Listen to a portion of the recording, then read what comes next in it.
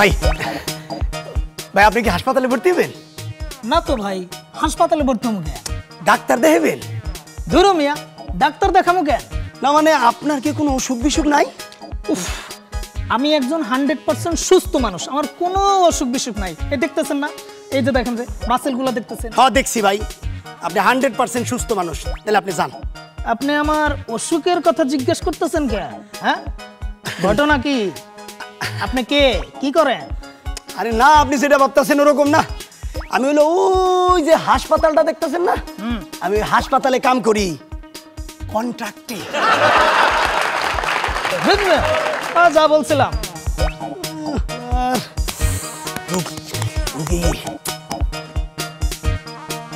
ও ভাই ও স্যার আপনার কি ডাক্তার লাগবো? ডাক্তার? ডাক্তার দিয়ে আমি কি করব? না, মনে করেন আপনার যদি খুব বড় ধরনের কোনো রোগ থাকে, তাহলে আপনি আমাদের বিশেষায়িত হাসপাতালে আইসা পরীক্ষা নিরীক্ষা করাইতে পারেন।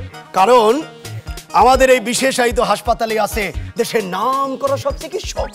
FRCS, FTPS, BTC, BJMES, BRTC, BTRC, dormitory husbandry নামধারী ডাক্তাররা আমাদের এই হাসপাতালে বসে। আরে না না। আমার কোনো বিশেষজ্ঞ চিকিৎসক লাগবে না। কে? কারণ আমার কোনো রোগ বালাই নাই। আমি সম্পূর্ণ সুস্থ। আপনি কে? ও আপনি কি ওই রোগী ধরা দালাল? না না আমি রুগী ধরা দালাল হইতে যাব কি লিগা? আমি হইতাছি এজেন্ট। ওই সাপ্লায়ারও বলতে পারেন। হয়তো কি সব সময় নষ্ট করার টাইম আছে। রুগী সবজি কই গেল? ভাই আসসালামু আলাইকুম। ওয়ালাইকুম আসসালাম। আমি হান্ড্রেড পার্সেন্ট শিওর আপনি একজন রুগী। ডাক্তার খুঁজতেছেন হাসপাতাল খুঁজতেছেন কোনো সমস্যা নাই। আসেন আমাদের বিশেষায়িত হাসপাতালে আসেন। আরে কি আশ্চর্য? আমি আপনাদের হাসপাতালে যাব কেন? আমার তো কোনো অসুখ নাই। কোনো সমস্যা নাই। আপনি আমাদের হাসপাতালে আসেন দেখেন অসুখ বিসুখ কেমনে বাইর কি বলতে তুমি এখন মানুষ তো সব মূর্খ। কার মধ্যে কি রোগ বাসা বাইন্দা বয়ে রয়েছে কেউ তো জানে না। ধর্মিয়া পাইলাম না। আমার বকা দিয়া চলে গেল আমি বুঝলাম না একটা মক্কেলকে পাবো না বনিও করতে পারুম না। ও আল্লাহ! ও মাবুদ তুমি মানুষের বড় বড় রোগ বালাই দাও। বড় বড় রোগ দাও তুমি যদি বড় বড় রোগ না দাও তাহলে আমরা চলমু কেমনে? রোগ বালাই দাও রোগ বালাই দাও মাবুদ। তুমি এই সমস্ত কি বলতাছো? আরে ভাই কি বলতেছি? মানে আমি খাড়ায় খাড়াই আমার মনের দুঃখ প্রকাশ করতেছি। মনের দুঃখ প্রকাশ করতেছো না মানুষের জন্য অসুখ বিসুখ হওয়ার জন্য বদ্ধ করতেছো হ্যাঁ? আল্লাহ মানুষের বেশি বেশি, অসুখ বিসুখ দাও। এগুলো কি বদ না? আরে না রে ভাই, আমি তো মানুষের উপকার করতে চাইতাছি। কার শরীরের মধ্যে কি রোগ বালাই আছে, কেউ তো জানে না। তা আপনি একজন মানুষ, কি সুন্দর খাড়ায় রইতেছেন, দেখলে মনে হইতেছে পুরা সুস্থ। কিন্তু আপনি তো আসলে জানেন না। আপনার শরীরের মধ্যে কি রোগ বাসা বাঁধছে? কীভাবে ঘর বাড়ি বানাইয়া বসবাস করতেছে? বংশবৃদ্ধি করতেছে ডজন ডজন। আসেন আমাদের হাসপাতালে দেখেন টেস্ট প্রকাশ্যে রাস্তায় দাঁড়িয়ে মানুষের অসুখ বিসুখের জন্য বদ্ধ করতেছো। আবার আসো টেস্ট নিয়া টেস্ট বাইট করতেছো। আরে ভাই এই যে এই বেটাটা চিটার ডেঞ্জারাস লোক। সে মানুষের ক্ষতি চায়। মারেন ছাড়ারে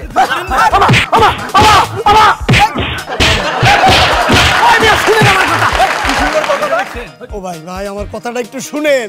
কহ সবারই তো পেট আছে রে ভাই। এই যে চোর ডাকাইত এরা যদি না থাকতো তাহলে এই যে পুলিশ আনসার বিডিআর এগো কি কোনো দরকার আছিল?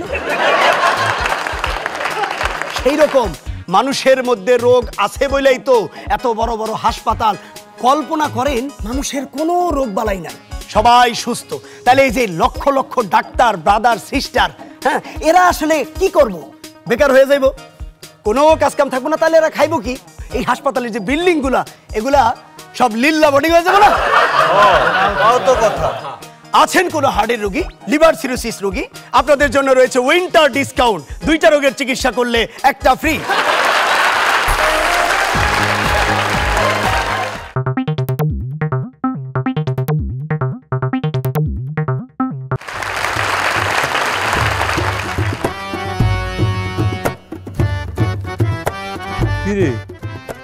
এই ভালো ভালো কাগজগুলা এরকম দলামচা করে ফেলাইতেছিস কেন?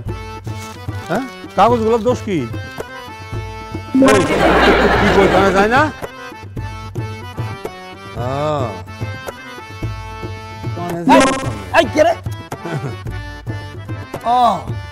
তুমি?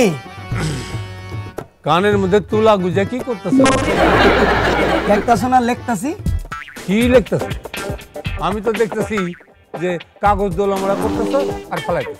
হালাইতাছি না ভাও আনতাছি। এই যে বড় বড় রাইটার কো দেখো না হ্যাঁ। তারা এরকম কাগজ কাটিকুটি করে আর ভালায় তারপরে তাগো ব্রেনের মধ্যে ভাব আসে। এই যে বিশ্বকবি রবীন্দ্রনাথ ঠাকুর তারা দেখছ না? হুম, তার যে লেখা তার যে পাণ্ডুলিপি এর মধ্যে কত কাটাকাটি। বুঝলাম। কিন্তু তুই কি লিখতেছিস আমি আসলে বই লিখতাছি। আগামী বই বেলায় আমি একটা বই বের করি এত কাম থাকতে তুই বই লেখার কাম করতেছিস কেন লেখক হ্যাঁ বইয়ের উপরে অটোগ্রাফ দিব। তুমি আমার লেখা নষ্ট করার লিখে এখানে কেন আইছো? একটা চিঠি লেখবার জন্য আসছিলাম। আমি তো লিখতে পারতেছি না। আমার আঙ্গুল তো দেখতে পাচ্ছিস হ্যাঁ দেখতে পাইতেছি। তুই তো জানো কোথায় কোথায় আমার একটু অঙ্গুলি করার অভ্যাস আছে। আরে কাল রাইতে আমার চিন্তাকারী ধরলো। আমি আঙ্গুল তুলে তাকে শাসাইলাম। আর ওরা আমার আঙ্গুলটা ধৈর্য গলা মুসরা করে দিল কেটে ভাঙিয়ে বেশ করছ। তুমি এখন কও আমি তোমার কি হেল্প করতে পারি? আমার কিন্তু আবার সময় নাই। আমার ব্রেনে একটা ভাব আসি আসি কইরা মনে করো যে আসে। তুই তোর ব্রেন রে ক তোর ভাবটা একটু আটকায় রাখতে। আমার চিঠিটা একটু রেখে দে বাবা। চাচা আমি লিখতেছি বই আর এর মধ্যে আমার সিডি লিখতে হইব। এখন যদি আমি বই বাদ দিয়ে সিডি লিখি তাহলে মানছি আমার কি করব কইব লেখো হইছস। বই লেখক বাদ দিয়ে সিডি লেখক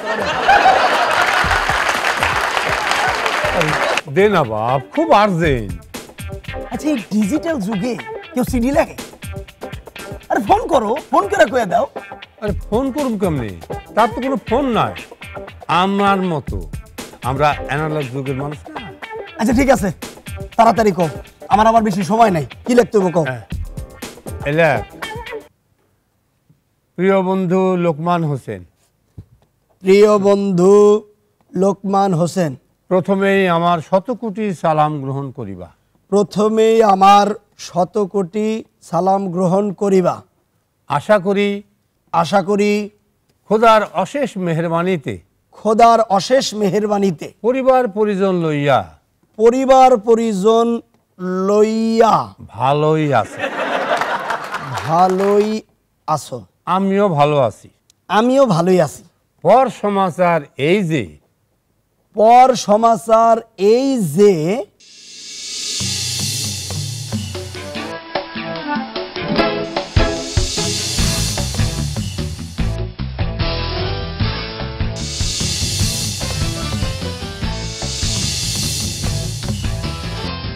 ইতি তোমার বাল্যবন্ধু। ইতি তোমার বাল্য বন্ধু হেকমত আলী। হেকমত আলী। হ্যাঁ। বাহ বাহ বাহ। আচ্ছা এখানে লেখ। পুনশ্চ পুনশ্চ। এত কিছু লেয়ার পর আবার পুনশ্চ। লেখ। অসংখ্য বানান ভুল আর জঘন্য লেখার জন্য ক্ষমা করিও। অসংখ্য বানান ভুল আর জঘ আরে বেটা, লেখক হইতে হলে হাতের লেখা সুন্দর করে লিখতে হয় আর বানান শুদ্ধ করতে হয়। লেখা নাই, পড়া নাই, জানে না কিছু হাইছে, লেখক হইতে।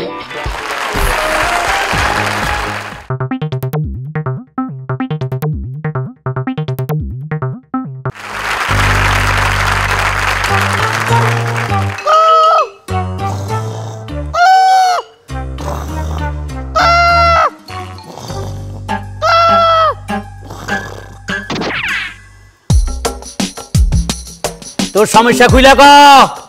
আমি তো সমস্যা খুইলা কইতাছি আধা ঘণ্টা ধইরা।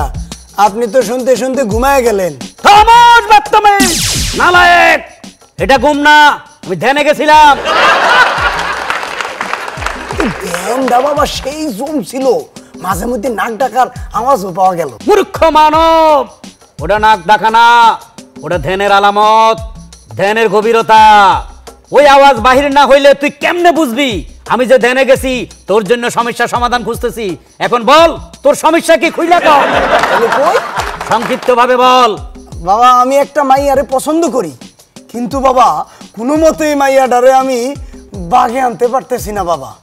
এখন আপনি আমার এমন একটা ব্যবস্থাপত্র দেন যাতে বাবা ওই মাইয়াটা আমার প্রেমের দেওয়ানা হইয়া আপসে আপ আমার কাছে চইলা আসে বাবা। বেয়াদব! ওটা তো ইপটিজিং কেস। আরে না বাবা। ইপটিজিং কেস হইতে যাব কি লেগা ওইটা হইতেছে প্যার মহব্বতের কেস। ওই যে হেমন্ত বাবু গায়ে গেছে না? আমি দূর হতে তোমারে দেখেছি মুগ্ধ হয়ে চোখে চোখেছি এইরকম কেস। গান বন্ধ কর। তোর এই গান শুনলে যত শিল্পী আছে সব আধা পাগল হয়ে যাবে। হুম, জটিল কেস। হবে হইব বাবা, আমি যারে চাই চিরদিনের জন্য সে আমার হবে, তাইলে তো আমি মনের সুখে গান ধরুম বাবা। চিরদিনই তুমি যে আমার, যুগে যুগে আমি তোমারই, আমি আছি সেই যে তোমার, তুমি আছো সেই আমারই। সঙ্গী আমরা অমর সঙ্গী। জি। হাত ওইদিকে না বাড়াইয়া পকেটে ঢুকাও। জি বাবা টাকা লাগবো? নাজরানা নাজরানা। ও, নাজরানা কত দিব? এক হাজার এক টাকা। এক হাজার এক টাকা দূর, আমি ভাবছিলাম আরও বেশি। কত ভাবছিলি? দুই হাজার দুই টাকা। ও ঠিক আছে কোনো টেনশন নাই। দুই হাজার দুই টাকা দিলে এই যে দেখছস? হ্যাঁ। এটা ডবল অ্যাকশন করে দিমু।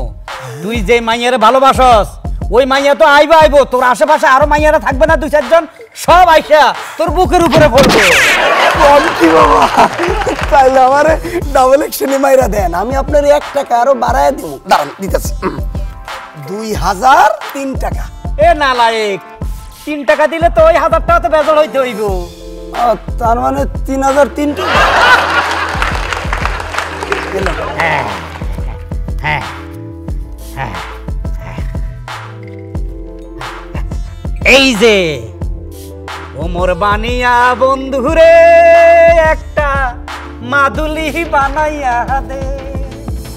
ওরে চলিয়া গেছে সোয়ার স্বামী, তাহারে আইনা দে। এই মাদুলি ডবল অ্যাকশন মেরে